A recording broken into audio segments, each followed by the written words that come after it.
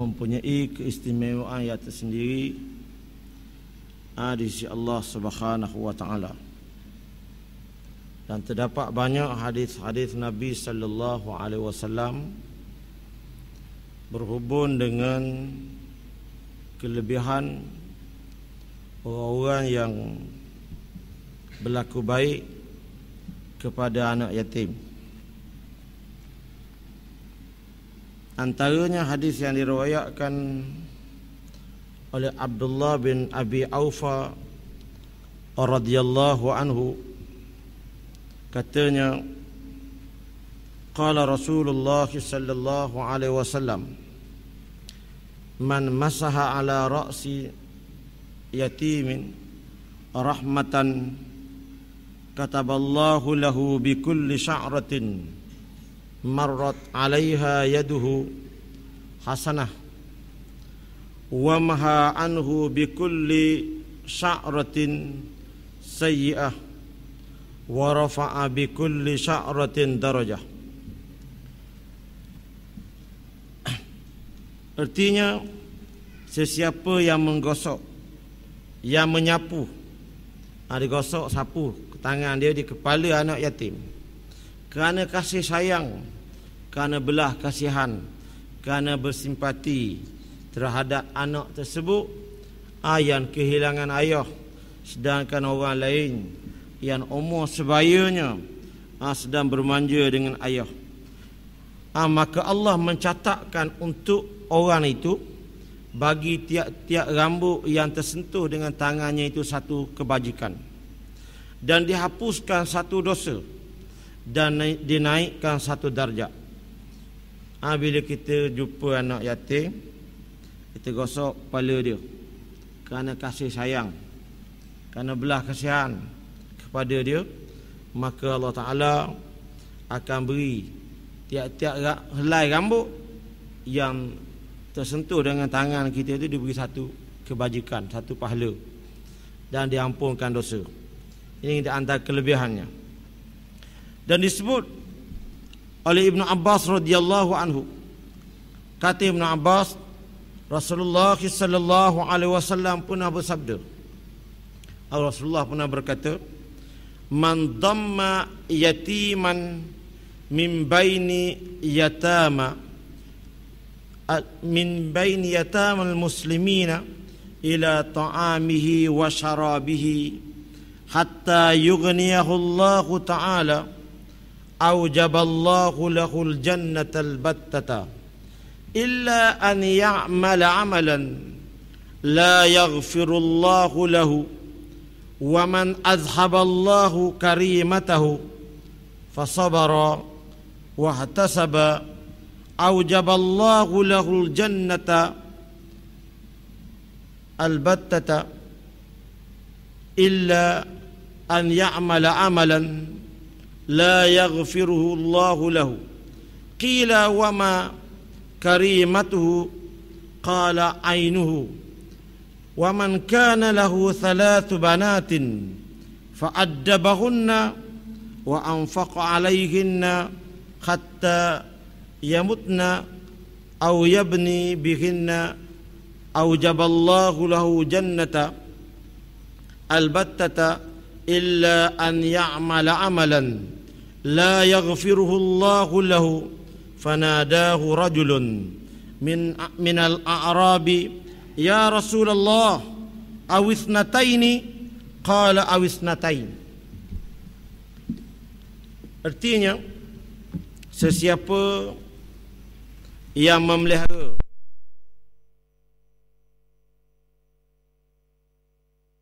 Siapa yang memelihara seorang anak yatim Maka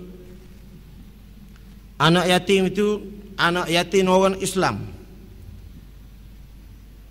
Ha, dia jaga makan minumnya, pakaiannya, keselamatannya, ha, kesehatannya dan juga akhlak dan pelajarannya. Ha, mana dia pelihara.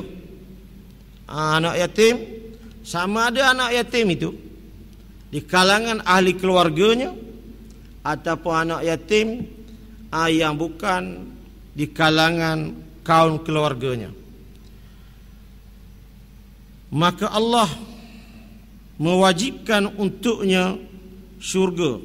Pasti Nabi kata Allah bagikan kepada orang yang memelihara anak yatim ini Tuhan bagi syurga. Kecuali orang berkenaan melakukan perbuatan yang tidak diampunkan dosanya oleh Allah. Kalau dia syirik dengan Tuhan, walaupun beli anak yatim, dia tak dapat apa-apa kelebihan. Ha, kalau dia buat dosa yang tak diampunkan oleh Tuhan, maka dia tak dapat kelebihan ini. Tapi kalau ha, dia Islam yang baik Islamnya, walau banyak mana dosa dia, ha, dia akan mendapat keampunan daripada Allah Subhanahu wa taala. Dan sesiapa yang dicabut oleh Allah penglihatannya yakni kesayangannya lalu sabar dan mengharapkan pahala daripada Allah maka Allah mewajibkan baginya syurga dengan pasti kecuali dia berbuat amal yang tidak diampunkan oleh Allah maknanya kalau seseorang itu Allah Ta'ala matikan orang yang dia sayang. Orang yang dia sayang sama ada mak ayah dia ataupun kalau suami kematian isterinya isteri kematian suaminya tetapi hadis ini lebih khusus pada mak ayah yang kematian anak mana anak sangat-sangat dikasihi oleh kedua ibu bapanya. Ha, dia Allah Ta'ala matikan orang yang dia sayang ini. Dan dia sabar. Ha, dan dia mengharapkan pahala daripada Allah. Maka Nabi kata orang ini akan diberi syurga oleh Allah Subhanahu wa taala. Kecuali dia buat sesuatu yang tak melayakkan dia mendapat keampunan daripada Allah Dan seterusnya Nabi berkata, "Wa man kana lahu thalath banatin fa addabahunna wa anfaqa alaihinna hatta yamutna aw yabni bihinna aw jaballahu lahu jannata albattata." Nabi kata mana-mana ibu bapa yang dikurniakan tiga orang anak anak perempuan. Dia ada anak perempuan. Dia didik anak itu ha, dengan didikan yang betul sehingga anak ini membesar dalam keadaan terpelihara akhlaknya. Dia tak buat dosa besar. Anak perempuan dia itu tak buat dosa besar. Tak bunuh orang, tak minum arak, tak berzina, tak tak buat benda yang dianggap dosa besar. Ha, Nabi kata kalau dia didik anak dia, anak perempuan daripada kecil, sehinggalah anak dia mati. Ataupun sehinggalah anak dia matang. Atau sehinggalah anak dia kahwin. Maka pasti orang ini akan dimasukkan ke dalam syurga. Dan mu ayah ini akan diharamkan daripada neraka. Kecuali dia buat sesuatu perkara yang mengharamkan diri dia daripada syurga. Dia syirik dengan Tuhan. Dia kufur dengan Tuhan maka tak dapatlah kelebihan lalu ada orang tanya wah Rasulullah apa pendapat Rasulullah? Kalau orang tu ada dua orang je anak perempuan. Ha, dia didik dari kecil dia beri pelajaran dia bimbing dengan akhlak yang baik dan terpelihara akhlak dia. Dia tak buat dosa besar sehingga ha, dia meningkat dewasa. Nabi kata Dua orang pun layak dia mendapat syurga dan mak ayah yang berjaya mendidik uh, dua orang anak perempuan ini akan terhalang daripada neraka. Kemudian ada pula dalam riwayat lain disebut ada sebut seorang sahabat. Yang kata wahai Rasulullah apa pendapat Rasulullah kalau orang tu ada seorang anak perempuan. Dia didik. Ha, dia beri pelajaran. Didik dengan akhlak yang baik. Adakah mak ayah ini dapat juga kelebihan tadi? Ah nabi tak ah nabi tak jawab. Ah kerana nabi tak dengar. Dan para sahabat buat andaian sekiranya nabi dengar kemungkinan nabi akan kata ya tu andaian. Ah para sahabat Seterusnya Abu Darda radhiyallahu anhu berkata, "Anna rajulan jaa ila an-nabi sallallahu alaihi wasallam fashaka ilaihi qaswatal qalbi." فقال النبي صلى الله عليه وسلم إن شرك أن يلين قلبك فامسح برأس اليتيم wa at'imhu. Abu Darda meriwayatkan. Abu Darda cerita dia kata ada seorang lelaki. Dia memang menjadi kebiasaan sahabat ni dia tak sebut nama. Ada seorang lelaki datang tanya Nabi. Sebab sahabat dia tak mahu menaikkan orang yang bertanya. Kadang-kadang soalan yang ditanya itu soalan yang remeh-remeh ha, bagi setengah orang mungkin dia kata soalan begitu tanya. Ha, jadi sahabat dia tahu nama siapa yang bertanya. Tapi bila dia menceritakan kembali kepada orang lain ha, dia tak akan sebut nama orang yang bertanya.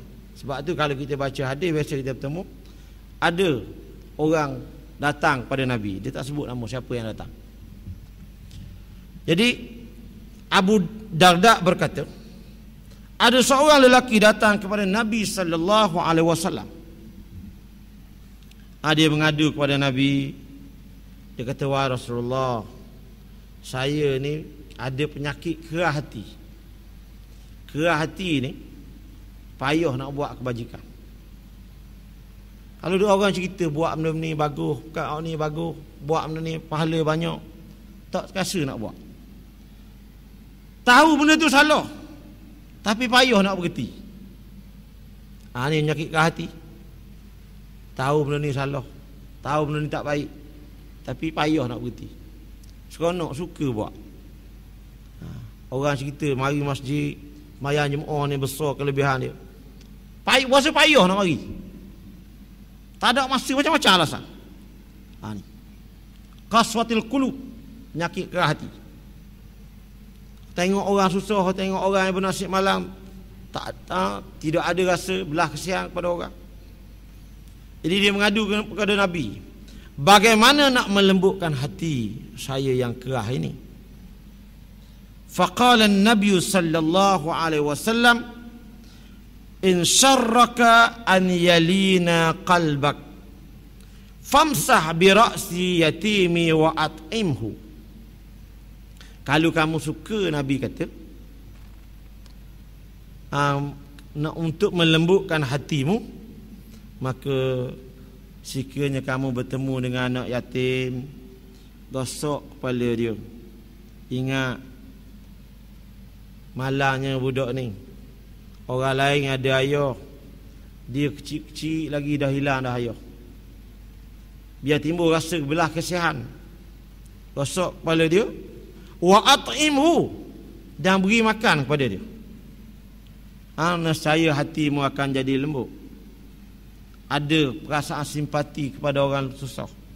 Ada belah kasihan kepada orang bernasib malang.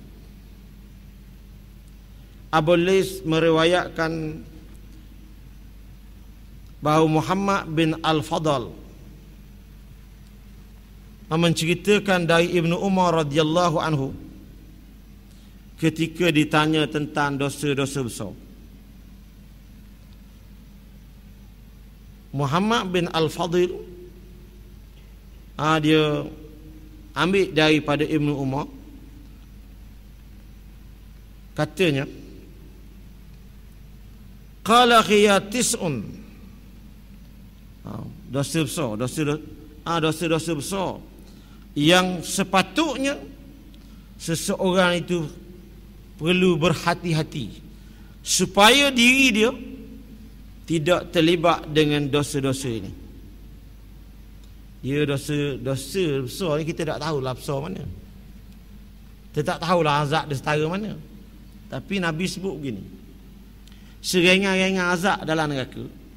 Azab yang paling ringan. Dia letakkan bara api, sedikit bara api di bawah tapak kaki. Dengan sedikit bara api itu uh, menyebabkan otak di kepala mendidih. Ah dekat lain tak kena bara api, tak tak disentuh pun oleh api. Atas kaki tak ada bara api, di betih tak ada. Yang adanya sedikit bara api di bawah tapak kaki. Tapi dahsyatnya bara neraka ini menyebabkan otak di kepala mendidih, gelegak, masuk. Itu hak paling ringan. Apa lagi kalau dosa tu dosa besar. Jadi kata Ibn Umar, wahai umat Islam, berhati-hatilah kamu daripada dosa besar. Dosa besar yang dikumpulkan oleh para ulama lebih kurang 75 perkara. 75 dosa besar. Tapi disebut dalam hadis ni yang yang yang kepala dia yang paling atas. Dia kata tujuh perkara, sembilan perkara. Asyirku billah. Yang pertama jangan buat benda yang boleh merosakkan iman. Syirik dengan Tuhan. Ah, perkara yang boleh menyebabkan batalnya iman wa qatlul mu'minin muta'ammidan kemudian membunuh orang mukmin dengan sengaja kelahi baloh akhirnya bunuh. Dan berhubung dengan orang baloh orang kelahi ni ada hadis Nabi sebut. Ha, Nabi kata al-qatil wal maktur finnar. Pembunuh dan orang yang kena bunuh dua-dua dalam neraka. Lalu sahabat Nabi bertanya, "Hadzal qatil wa ma balul maktul?" Hak ni nak sabarlah. Dia tukang bunuh. Nak dia masuk neraka. Yang kena bunuh ni pula yang jadi mangsa ni. Ha, Nabi kata dia ni ada niat nak bunuh lawan dia tapi dah lawan dia bunuh dia dulu. Masing-masing hati jahat berlaku. Ha, dua-dua orang tu punya hati yang jahat ada cita-cita untuk membunuh. Maka dua-dua ni pembunuh dan yang kena bunuh kedua-duanya dalam neraka. Ha, jadi yang pertama syirik, yang kedua membunuh orang mukmin. Yang ketiga, firaru minaz zahfi lari dari medan peperangan apabila bertempurnya tentera Islam ah, dengan tentera kafir di medan perang tiba-tiba ada yang lari. Lari kerana takut bukan lari kerana helah bukan lari kerana strategi. Lari kerana penakut. Ha, sebagaimana yang berlaku di kalangan orang munafik di zaman Nabi dulu. Dia melarikan diri apabila melihat musuh. Maka ini dosa besar. Kemudian wa qazful muhsana um, menuduh seseorang yang baik ah dia tuduh dengan tuduhan keji ah tuduh zina ah rogu liwak dan sebagainya ah, apa ni khalwa tuduh tuduhan yang merosakkan nama baik. Wa aklu malil yatim. Kamu dia makan harta anak yatim.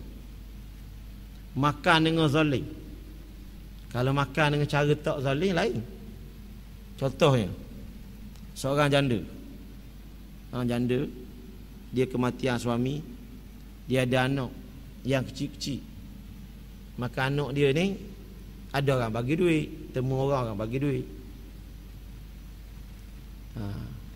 Siapa tengah jalan Anak nak beli kopok Nak beli goreng pisang Lepas tu Dia buat alik rumah Mok pun makan sekali Tapi bukan mok niat dia beli tu nak ha, Nak menzalimi harta anak dia Itu tak salah ha, Tak salah Ataupun seorang suami dikahwin dengan janda. Janda tu ada anak yatim. Jadi dia kerja dapat duit ha, dia tanggung keluarga dia. Begitulah tiap-tiap hari. Siapa masa duit dia tak ada. Nak beli beras tak ada duit. Nak beli ikan tak ada duit. Dia pun ambil lah duit anak yatim. Beli ikan makan sekali. Bukan niat nak mengkhianati anak yatim tu. Itu tak salah. Kerana hari lain dia guna duit dia. Wa aklul riba. Kemudian makan riba. Ini di antara dosa besar. Wa uququ walidain. Derhaka kepada ibu bapa. Wa sihru. Kemudian beramal dengan sihir. Dan seterusnya menghalalkan sesuatu yang haram. Ini kepala dosa besar. Kemudian kata Ibnu Umar, hati-hati. Daripada dosa besar ini, kerana apabila seseorang itu terlibat ah, dengan dosa-dosa ini, pasti dia akan dilaknat oleh Tuhan. Ah, kecuali dia bertaubat sungguh-sungguh. Seterusnya, Ibnu Abbas radhiyallahu anhu berkata sittun mubiqatu laysa fin laysa fihinna taubatun aklu malil yatim wa qadhful muhsana wa firaru min az-zahfi was-sihru was-shirku billahi wa qatlu nabiyyin minal anbiya. Ibnu Abbas kata ada enam dosa. Memang tak layak mendapat keampunan Tuhan. Kecuali orang tu benar-benar bertaubat. Taubat sungguh-sungguh. Ha. yang pertama makan harta anak yatim. Kalau dia mati tak sempat bertaubat dia khianat harta anak yatim. Ha. Macam zaman sekarang. Ragu. Betul lah kalau lah perempuan yang diragu itu orang yang beli anak yatim dalam dalam beg duit tu ada harta anak yatim. Maka dia telah ha, melakukan dosa yang sangat berat. Kemudian yang kedua menuduh seseorang yang soleh dengan tuduhan yang keji yang hina. Ah ha, tuduh dia berzina. Kemudian lari daripada medan perang sihir syirik dan yang keenam kata Ibn Abbas ialah membunuh Nabi. Dia sejahat-jahat manusia. Kapi Lepas tu bunuh Nabi. Itu sejahat-jahat manusia. Dah lah kapi Bunuh pula Nabi. Ha, Banyak Nabi-Nabi zaman dulu Ramai. Nabi di kalangan Nabi-Nabi zaman dahulu Yang dibunuh. Antaranya Nabi Zakaria. Nabi Zakaria ni digegaji kepala dia. Nabi Yahya Disembelih atas arahan Raja Herodos. Ha, Raja Herodos nak kahwin. Ha, maka antara syarat yang diminta oleh perempuan yang yang bakal menjadi isteri dia, dia kata aku nak antara hantarannya kepala Yahya. Kerana selagi ada Yahya tak aman gitu. Maka Raja Herodos ha, yang tengah mabuk gila tu dia arah ha, gawa dia cari Nabi ha, Nabi Yahya dia sembelih. Dia ambil kepala tu dijadikan hantaran. Ini antara manusia yang sangat jahat. Dahlah kapi. bunuh Nabi. Jadi termasuk juga salah satu yang Ibn Abbas kata makan harta anak yatim. Kemudian Ibn Abbas ketika diminta menjelaskan maksud ayat innal ladzina ya'kuluna amwalal yatama zulman innama ya'kuluna fi butunihim nara wa, yas, wa sayaslawna sya'ira. Sesungguhnya orang yang makan harta anak yatim dengan niat menzaliminya maka samalah dengan makan api neraka dan di akhirat nanti maka dia akan akan dikelilingi oleh api. Jadi orang tanya Ibnu Abbas apa maksud orang tu makan api dan di akhirat nanti akan diletak dalam neraka yang sentiasa menyala ha, dia menyebut Artinya orang tu pasti masuk neraka. Orang yang makan harta anak yatim secara zalim Kata Ibn Abbas tidak syok lagi Pasti dia akan masuk neraka. Kecuali dia benar-benar bertaubat. Dengan taubat yang nasuha Taubat yang sungguh-sungguh. Dan disebut Adalah hadis yang lain antara rumah yang bahagia. Rumah yang dikasihi oleh Tuhan. Dalam rumah tu ada anak yatim. Kemudian orang dalam rumah tu buat baik anak yatim. Dia beri makan. Ha, dia beri pelajaran. Ha, dia didik dengan baik. Jaga keselamatan dia. Ini rumah yang dikasihi oleh Tuhan. Dan rumah yang dilaknat oleh Tuhan. Dalam rumah tu ada anak yatim. Orang dalam rumah tu khianat pada anak yatim. Sentiasa menyebabkan anak yatim bersedih. Anak yatim menangis. Dan di sana ada riwayat yang menyebut apabila anak yatim menangis maka bergegarlah aras. Apalagi kalau tangisan itu berpunca daripada kezaliman manusia.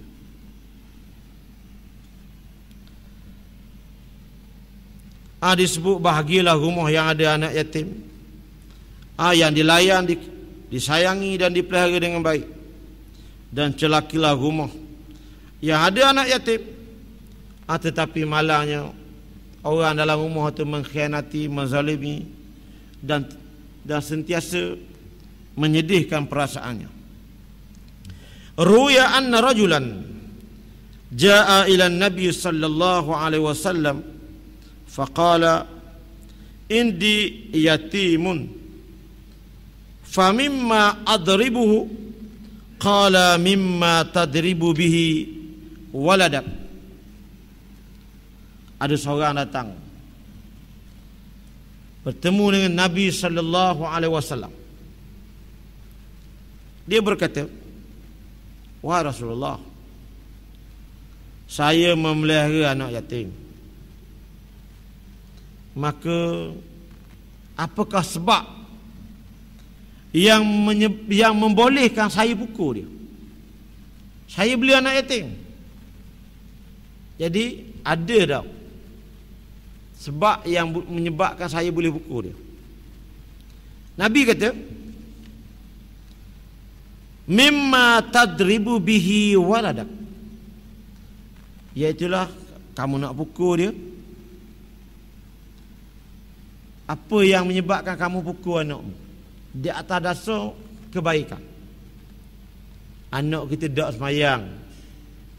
An- kerana nak didik anak. Kita pukul. Itu pun setelah kita nasihat. Setelah kita beri amaran ha, maka itu saja yang membolehkan kamu pukul dia. Dan orang zaman dulu, zaman orang faham Islam. Orang berlomba-lomba beli anak yatim. Nabi ramai anak yatim. Sahabat Nabi ramai anak yatim. Dan orang zaman itu sahabat-sahabat dia berani pergi berperang. Sebab dia yakin, dia, dia, dia yakin kalau dia mati anak dia akan dipelihara oleh jiran-jiran dia. Kerana jiran dia rasa satu kemuliaan boleh bantu, boleh didik anak yatim. Dan ramai tokoh-tokoh terbilang adalah anak yatim. Contoh dia. Imam Syafi'i. Imam Syafi'i ah, dia dilahirkan di Palestin, di Gaza, Palestin. Umur dia 2 tahun, ayah dia meninggal. Ibu dia, bela dia. Masyarakat dia uh, bantu dia sehinggalah lahir sebagai tokoh uh, yang disebut sepanjang zaman. Begitu juga Imam Ghazali. Imam Ghazali ni anak yatim. Ha, dia belum balik lagi ayah dia meninggal dunia. Ha, lahir Imam Ghazali sebagai tokoh ilmuwan. Hasil-hasil tulisan dia dibaca, dipelajari. Sebab masyarakat pada masa itu tidak akan membiarkan anak yatim hidup tanpa perhatian. Dia akan rasa bertanggungjawab sebagaimana dia rasa bertanggungjawab terhadap anak dia.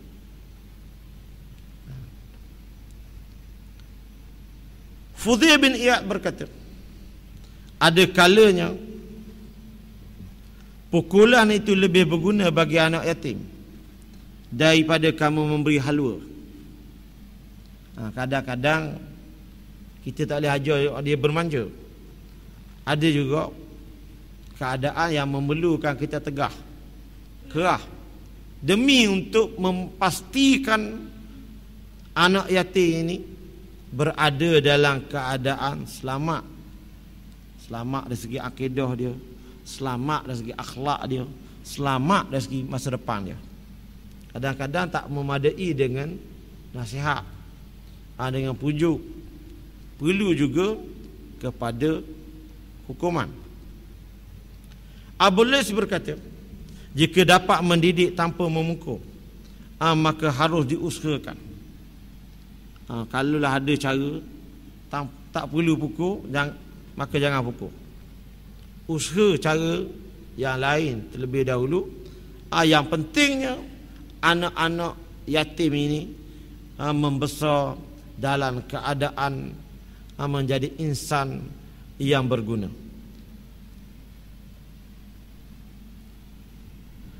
Dia kata jangan kamu pukul sebab memukul anak yatim itu berat risikonya.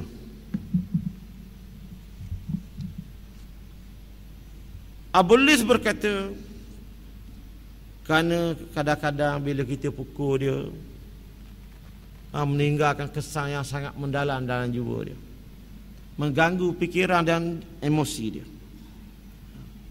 Seterusnya Sa'id bin Musayyab meriwayatkan dari Umar bin Al-Khattab radhiyallahu anhu bahawa Rasulullah sallallahu alaihi wasallam pernah bersabda Innal yatima idza duriba ihtazzal arsyur rahman libukaihi fayaqulu Allah ta'ala ya malaikati man abqiya alladhi ghaib ghaibtu abahu fi turabi wa huwa a'lamu bihi fatakulu al malaika rabbana la ilma lana قال فإني anna man ardahu fiyya fa'urdihi min indi yawmal qiyamah. Nabi kata Sesungguhnya anak yatim Apabila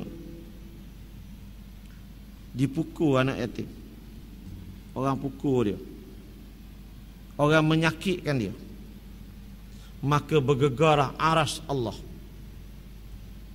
ihtazzal arsyur rahman bergegarlah aras Tuhan yang maha pemurah. Dengan sebab tangisannya. Lalu pada masa itu Allah akan bertanya wahai malaikatku siapa yang menyebabkan orang yang telah aku matikan ayahnya ayahnya sedang berada dalam perut bumi sekarang ini siapa yang menyebabkan budak ini menangis Tuhan tanya. Ha, tanya malaikat. Kalau Tuhan tak tanya dia tahu dah ha, tapi Tuhan memuliakan malaikat. Sebab boleh bercakap dengan Tuhan ni satu kemuliaan. Ha, lalu malaikat berkata wahai Tuhan kami tak tahu. Lalu Allah berkata fa inni ushirukum. Wahai malaikat bersaksilah kamu bahawa sesiapa yang dapat menghiburkan hati anak yatim yang dapat mengembirakan hati anak yatim ah, dia menghiburkan kerana Allah maka aku reda orang itu. Aku kasih orang itu. Dan di akhirat nanti orang ini akan mendapat kelebihan yang besar daripada aku ini Allah Ta'ala ha, beritahu kepada para malaikatnya Abdurrahman ibn Al-Azza berkata Allah berfirman kepada Nabi Daud alaihi salam kun lil yatimi kal abir rahim wa'lam annaka kama tazra'u kadzalika tahsudu wa'lam anna mar'ata salihati wa'lam anna أن المرأة الصالحة لزوجها كملك متوجي بالذهب كلما رآها قرت عينه ومرأة السوء لبعلها كالحمل ثقيل على الشيخ الكبير Allah Ta'ala berfirman kepada Nabi Daud Allah Ta'ala kata Jadilah terhadap anak yatim Seumpama ayah dia. Ha? Allah Ta'ala kata Wahai Daud Jadilah kamu Terhadap anak yatim seumpama ayah Yang penyayang Memang anak yatim itu bukan anakmu. Tapi jadilah kamu seumpama seorang ayah yang penyayang Bila jumpa dia Tanya dia ha, tanya keadaan makan minum dia. Tanya tentang kesihatan dia. Tanya masalah dia. Wa'lam ketahuilah wahai Daud annaka kama tazra'u kadzalika tahsudu. Ketahuilah wahai Daud sebagaimana seseorang petani dia menanam sejenis tanaman maka sudah pasti dia akan menuai hasilnya. Begitulah juga seseorang yang berlaku baik kepada anak yatim dengan penuh kasih sayang maka akhirat dia akan melihat bagaimana pembalasan Allah kepada orang-orang yang memuliakan anak yatim. Wa'lam anna mar'ata salihata dan wahai Daud ketahuilah bahawa seorang perempuan yang salihah. Ha, terhadap suami dia. Seumpama bagaikan raja yang bermahkotakan emas di kepala. Apabila suaminya melihatnya maka timbullah ketenangan di dalam hatinya. Wal mar'atu su dan perempuan yang jahat perempuan yang celaka terhadap suaminya ah perempuan yang buruk akhlaknya seperti seorang orang tua yang uzur sedang menanggung ah, beban yang sangat berat. Dah lah tua pikul barang berat pula. Ha, itulah bandingannya. Jadi dalam kata-katanya Tuhan sebut kepada Nabi Daud, wahai Nabi Daud, buat baiklah ke anak yatim, jadilah kamu seumpama ayah. Ayah sentiasa mengambil berat ha, terhadap anak-anak. Jadi kesimpulannya ha, buat baik pada anak yatim ni satu amalan mulia. Anak yatim walaupun kadang-kadang anak yatim ni harta banyak. Ayah dia mati tinggal harta. Kecil-kecil lagi dah dapat pusaka banyak. Tapi walaupun dia ada harta sunat kita beri hadiah ke dia. Ha, untuk menggembirakan dia. Ha. Bila dia kaya tak layak beri zakat. Tapi sunat beri hadiah untuk menghiburkan hati dia. Dan Nabi pun sebut Ana wa kafilul yatim al-muslimi kahataini fil jannah. Ha. Nabi kata aku dan orang yang memelihara anak yatim seumpama dua jari. Jarak dua jari ini terlalu hampir. Maka begitulah hampirnya orang yang memelihara anak yatim dengan Nabi ada akhirat nanti dan akhirat masing-masing nak duduk dekat dengan Nabi. Masing-masing dia tanya Nabi. Termasuk orang kafir bertanya Nabi juga. Kerana tak tahan dengan suasana. Azabnya, deritanya, ala mahsyar. Jadi apa lagi kita yang diberi peluang. Kalau nak duduk dekat Nabi, Nabi ajar. Beberapa amalan. Antaranya orang yang banyak sembahyang. Ah, banyak sembahyang sunnah. Orang yang banyak selawat. Dan orang termasuk juga orang yang ambil berat terhadap kebajikan anak yatim. Kalau kita ada jiran kita yang ada anak yatim, ha, maka apa salahnya ha, kita bagi hadiah kepada anak yatim. Itu peluang untuk kita buat kebajikan. Ha, mudah-mudahan kita akan mendapat kelebihan ha, yang disebut oleh Nabi sallallahu alaihi wasallam. Ha, kita akan dimuliakan oleh Allah ha, di dunia dan di akhirat. Aku lu qauli hadza واستغفر الله العظيم لي ولكم ولسائر المسلمين والمسلمات انه هو الغفور الرحيم والسلام عليكم ورحمه الله وبركاته